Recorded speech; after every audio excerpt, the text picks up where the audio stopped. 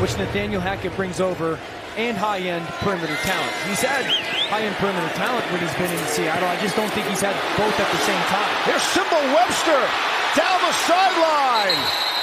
And